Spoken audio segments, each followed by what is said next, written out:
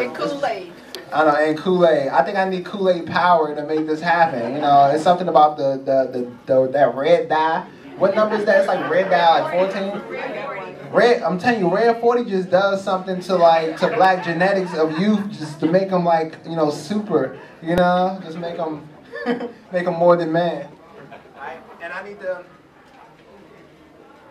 summon the power of Red Dye 40 to make this all work. right.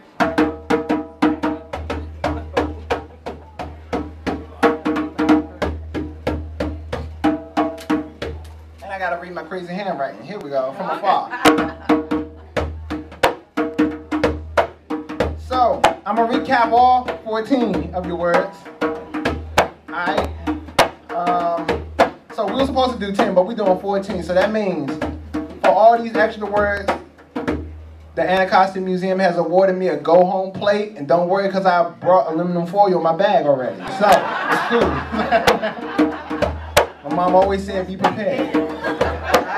So, our first word is rowboat. Rowboat. Alright, and we have fu as in kung fu, and you know it's up to me to do something with that. However, alright. Uh, then we have shad, 5. Anacostia. Um, and pollution. I might need to move closer to this book so I can read this. We go. Uh. A huh? A book holder? No, no, no. It's all, I'm telling you, this that that make your triceps like really tight afterwards, though. like the book holding duty is, is hard work. All right, all right, and then we have pollution. Beaver. Uh, then we have balloon, rainbow, Barack Obama.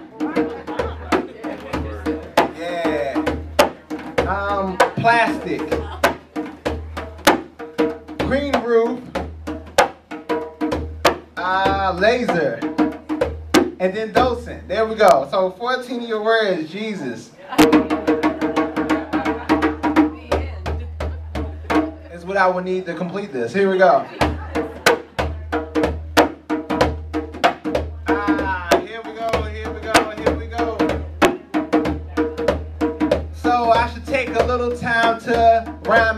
Check out my approach so I could clear my throat, come off, and I got 14 words to provoke. I gotta make this whole thing sound a little dope and go. Um, brother got a flow down the Anacostia on a rowboat. I gotta get on it, flip up the different components. I'm not on the Anacostia, it's the Potomac, cause I heard the water's a little better, a little clearer. I wish I had the book a little nearer, but I'm still gonna do what I have to do and kick the words to you like Kung Fu. When we come through and hit this wild moves, just like Morris Day in the time when I kicked around. Do it like this, make sure the freestyle ain't bad. I catch shad with a plastic bag, then go back and fry it up on the skillet. It's gonna take me uh, just about a minute. You know why I used to go to Berry Steakhouse and fry some stuff with tater fry. Grease holding it down with this piece looking at all the words on the list. I gotta delete with the flow and I go back and hold it down, make it so popular like the Anacostia. River is the topic, crystals I drop it like um water on the ground. Then you mop it up like a custodian when we bound to win, taking all the words like a hair off the chin. Uh, and you know why we connect through the sky with the words with the Wi-Fi signal that the gold digger got from me, but it's okay. I can still MC and do it like this because I got mad solutions, cleaning it up like we do the pollution with the groundwork that we doing out here to make the water we come off a little clear, uh, making all y'all straight believers. Got a two liter, they used it to build a dam with a beaver. How to leave the freestyle complete, we clean just like lever. 2000 when we wildin', picking up the drum like this, just a little bit of freestyling. And you know I will be back soon. It's like y'all never see me no more, just like you lost a balloon. With the helium when it's going in the sky, I bring it back a little bit and knock out the rhyme. And I got the glow like Bruce Leroy. That's not the glow, that's just the water making a rainbow up in the sky. Christylez coming through with the freestyle, late like the letter Y, before the Z, in the place to be with the M, the E um um for MC, I guess. Looking at the list, I get the next prospect coming back at ya without the drama. Trying to go again for another year like um Barack Obama with the Hussein. Christylez coming in with the freestyle lane. I'm not one to complain, it's all the same. I'm about to go and knock all these words out like a game, um, and knock it out just like the oil. About to go and get some aluminum foil and get some stuff off of there and rhyme and rip. Cause a brother like the spinach dip with the chips and the cake. Christylez coming, I got moves to make. Um, this is how we do when we get loose, drink it like orange juice. Get the solar power from the green roof up off the top. When I'm coming through, representing for hip hop. Um, old school like the Ohio player. Say the words, play the djembe. I'm straight like a laser. When I hop on the microphone, do this thing at home. To the homie with the iPhone. Pose, hold on, stop. Gotta fix the clothes. Follow my nose just like Toucan Sam. I'm just like a bee because I'm built in the dam. Just like a bag of lint, taking all the words um, on the list and trapping it in just like the liver. When Christylez deliver, I said liver. My bad, I mean liver. Cause I can't pronounce the T, but I heard that's very reminiscent of DC. Cause that's how we sound when we got the freestyle, when we paint it all around. And this is how we go when we get it in. Thank you very much. Make sure you dap up the docents. This right here is the freestyle Dutch. We gotta stop and say, uppa, uppa. thank you very much. All 14 of your words. Thank you very much. Thank you. So I have one more little thing, one more little performance piece for y'all. Yeah, it's um, a lot of practice. I used to drive my mom, my little sister crazy with that because I used to go home after school and sit down in the front room. Like, my sister's going in the kitchen, um, looking in the refrigerator, ain't nothing in it. You know what I'm saying? Like, you know, I just feel freestyle about whatever was happening in the moment. Used to drive my mom, and my little sister crazy. And then look, now I can pay rent with it. Thank you. I so what I like doing, I call myself a progressive hip hop artist because I take um, traditional style, um, the traditional um, music with hip hop, like the beatboxing and rhyming, all traditional elements and stuff that happens in hip hop music, and um, and I like to progress it, take it a little bit further outside of its cultural context by mixing it with all types of genres from all around the world. I do this type of programming, um, mixing together with different genres of music every month in Columbia Heights. I call it Washington Sound Museum. If you type in WashingtonSoundMuseum.com, you get the next performance and stuff that's happening. So this month I'm collaborating with um, with um, South Indian classical um, musicians. So it's called Carnatic music, and so you're gonna have a vocalist and their and their skills and is amazing. So we're gonna mix those together. And a while back, I did a um, I did a, a collaborative project that mixed together old time um, music on folk and banjo and ukulele and washboard with hip hop, beatboxing, and rhyming. And we called it Banjo to Beatbox. It came out in 2010. It was nominated for a Grammy that year. And that that album is available online and stuff, so you could definitely get that. And it's a family album, so if you have little ones, definitely get one for them. And so I learned about the connection of um, hip hop music and folk music. Like instead of hambone, we do our we do that right there, you know. There are a lot of connections with folk music and hip hop because hip hop indeed is um folk music, you know. It's all a um, continuum, and um and I learned from going like this because you know a lot of um DC boys we grew up banging on our chest all the time. We do the go-go beats on the chest. I remember one time a friend was talking to me. She was like, "Yeah, yeah, I'm out here in Baltimore right now. Do say from DC?" I'm like, "What part of DC say you from? Southeast?" I like from. He ain't from Southeast. He's from Baltimore. Like, nah, I just ask him to do a beat on his chest. And then she asked him, he couldn't do it. I'm like, he's not from DC. He's not, he don't know how to do a beat on his chest. And then so Chet, banging on the chest is just like hambone. Then I learned another instrument that's really similar to hambone, which is the spoons. So the spoons.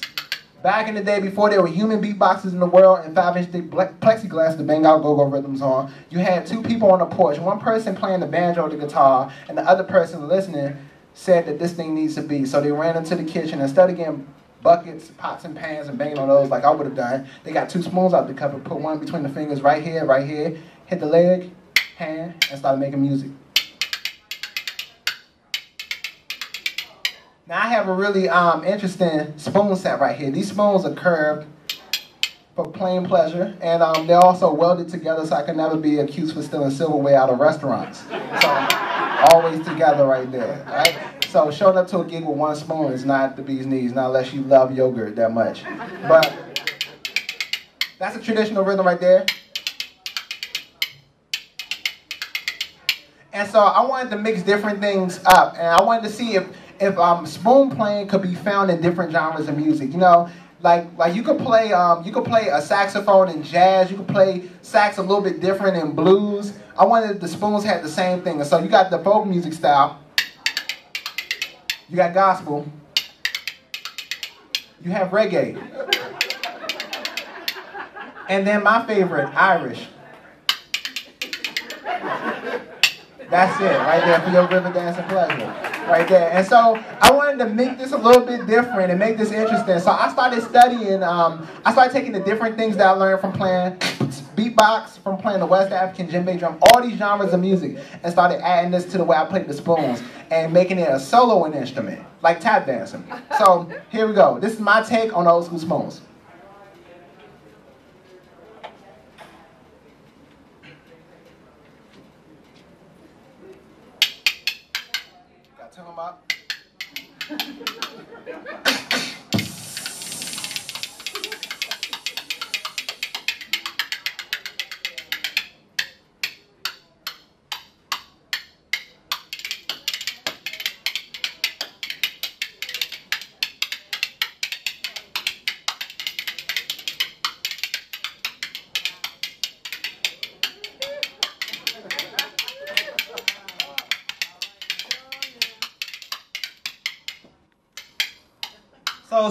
Right there.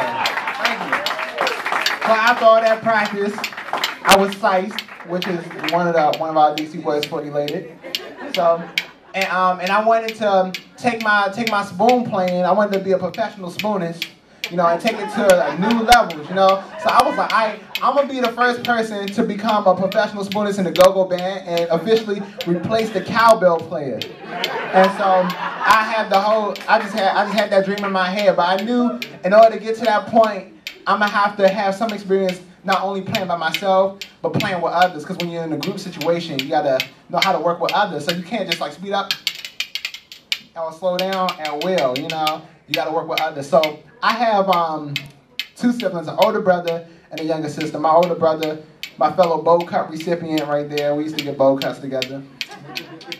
I figured one of these cats could play the instruments, like the drums or something, while I practice on the spoon, soloing. So I went over to my older brother first, and he was playing PlayStation. The only time he presses pause is consume food and beverage. So nothing was happening over there. So I went to my little sister. My little sister was having a tea party with her favorite stuffed animals. So nothing was happening over there. Teddy bears and stuff was sipping the finest Earl Grey, you know, and, and fresh baked scones from the Easy Bake Oven with the 100 watt light bulb. And so, so I was by myself once again with just me and my spoons.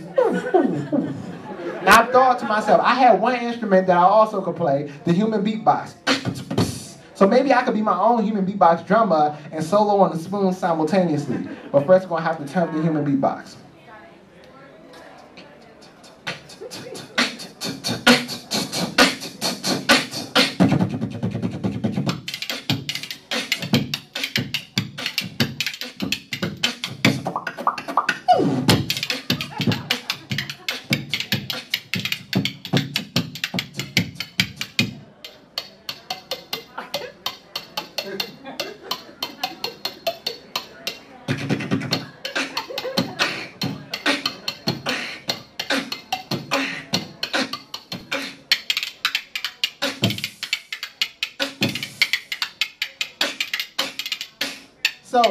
Before we end this whole thing, so this is my last little giant. It's been a pleasure performing with y'all, um, and y'all offering the energy and stuff, and your crazy words for me to use this freestyle. Um, so before I end this thing, I'm gonna play like how I play at home. When I'm playing at home on the spoons, and my next door neighbors think I'm Gregory Hines or something, I'm playing twice as fast. So spoons twice as fast, and so Yeah, I just can't leave without doing that. So here we go. We're gonna go twice as fast. Professional spoon playing here.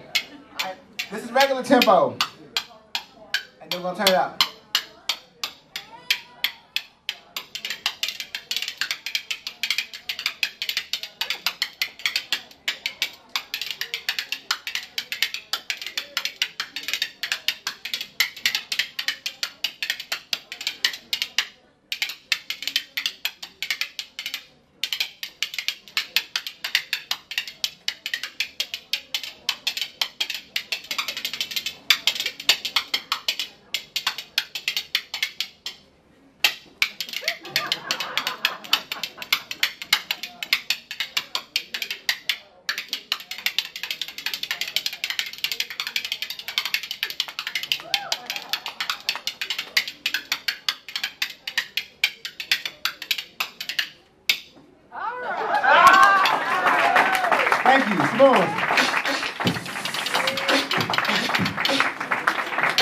Thank you very much. I'm Christylez Bacon. It's been a pleasure, y'all. Thank y'all for having me out here.